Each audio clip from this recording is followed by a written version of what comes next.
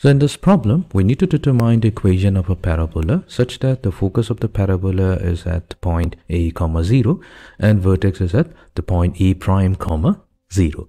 Let us begin. So we'll try to understand the problem graphically first. We begin by considering a straight line. And on this line, we are going to consider two points. Let's say one of the point is denoted by v with the coordinates a prime comma 0 and the other point is denoted by f with the coordinates a comma 0. So this means that v is going to represent the vertex of the parabola and f is going to be the focus of the parabola. Now by definition, any line which contains the coordinates of the vertex and the focus of the parabola is going to be referred to as the axis of symmetry line. Now, we're going to consider another point. Let's call it point A. And the Position of A is chosen in such a way such that the distance of point A from the vertex is exactly equals to the distance of the focus from the vertex. So these two lengths are exactly equals to each other. And and once we have chosen the point A, let's say the coordinates of point A are A comma B. And we're going to pass another straight line through this particular point A and it will be perpendicular to the axis of symmetry line.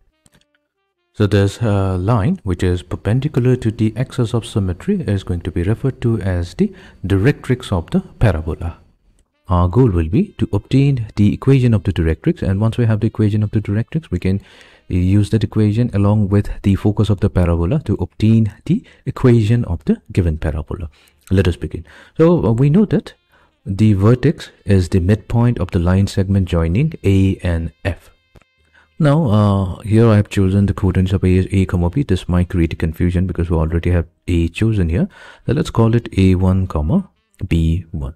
So here we have vertex V, the being the midpoint of the line segment joining A and F. So here what we can do, we can use the midpoint formula. That means we're going to take the sum of the x coordinates of uh, point A and point F. So A1 will get added to A.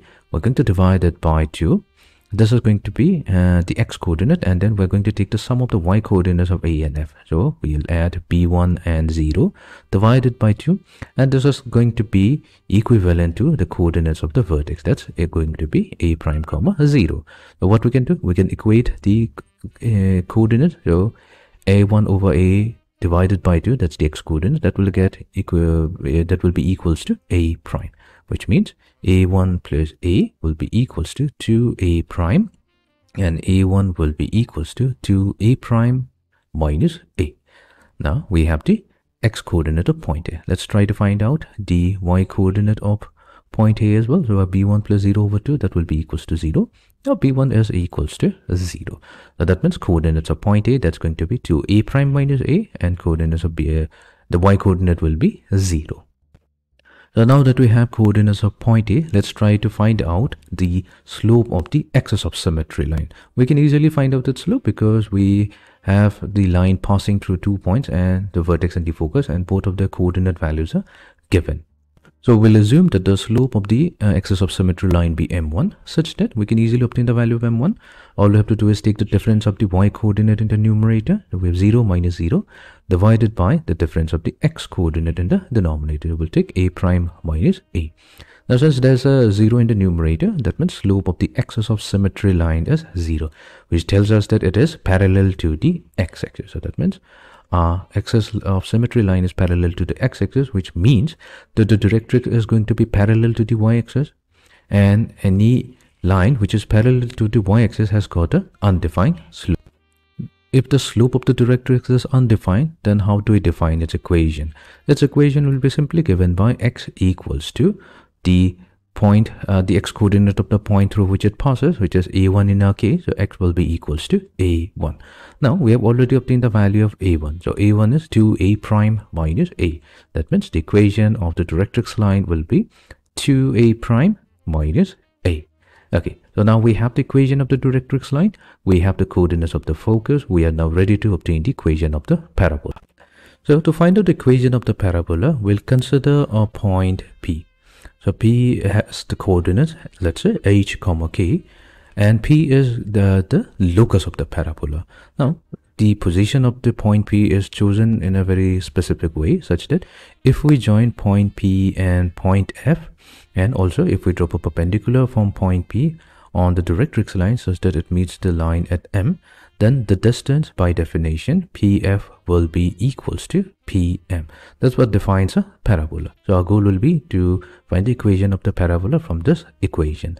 Here we can easily find out the length of PF because the coordinates of the endpoints are given. We can use the distance formula. So we'll take the square root and then in the square root we take the difference of the x coordinate. So we'll start with h and from it subtract a. So we get h minus a whole squared added to the difference of the y coordinate. So that's k minus 0 whole squared. So this will be equals to, now we want to find out the perpendicular length pm. Now there is a standard formula to compute the perpendicular distance of any point from a given straight line. So let's quickly go through the formula that we'll be using here to obtain the length of PM. So here the perpendicular length PM can be used as formula. So let's say we have a point P with the coordinates x1 comma y1. It is at a perpendicular distance from a straight line whose equation is given by its general form ax plus by plus c equals to 0 then the perpendicular length can be obtained by taking the absolute value so here we take a times x1 so that means multiplying the coefficient of x of the straight line with the x coordinate of point p added to the coefficient of y which is b times the y coordinate of the point P plus the constant term of the straight line divided by the square root of the sum of the squares of the coefficient of x and y. We're going to use the same formula. In our case, x1 comma y1 will correspond to h comma k. And the straight line is given by, which is the directrix in our case, is given by this particular equation. However, let's try to rewrite the equation in its standard form. So here we have x which can be expressed as 1 times x.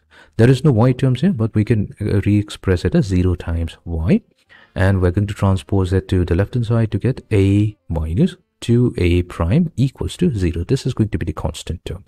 Now that means our perpendicular distance will be now given by so we have 1 multiplied to h plus 0 multiplied to k plus the constant term which is a minus 2a prime divided by the square root of 1 squared plus 0 squared. So let's uh, simplify. So here we're going to get the square root of h minus a whole squared added to k squared equals to the absolute value of h plus a minus 2a prime. Now we're going to square both sides. Squaring is going to give us h minus a whole squared plus k squared equals to h plus a minus 2ah whole squared. So we need to expand it, but let's use a trick here. So here we're going to keep the left hand side as it is, h minus a whole squared plus k squared. However, on the right hand side, we're going to rewrite h plus a as h minus a. However, we don't have a negative a here, we have a positive a. So we need to add positive 2a to it. So that means we have h minus a plus 2a minus 2a prime whole squared. Furthermore, what we'll have h minus a whole squared plus k squared equals to, now what we can do, we can rewrite this as h minus a plus uh, 2a minus 2a prime, so let's be another term. So here we can expand it to get h minus a whole squared plus 2a minus 2a prime whole squared plus 2 times the product of h minus a times 2 times a minus 2 times a prime. And on the left hand side, we have h minus a whole squared plus k squared. So here we can cancel out h minus a whole squared from both sides. Now we have k squared. Now for we're left with these two terms. Now from these two terms, if we take 2a minus 2a prime as the common factor, so that gets multiplied to. So from the first term, we have 2a minus 2a prime.